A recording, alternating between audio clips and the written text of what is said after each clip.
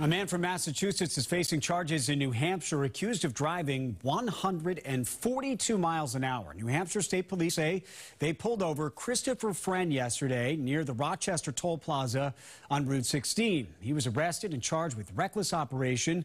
He was later released on his own recognizance.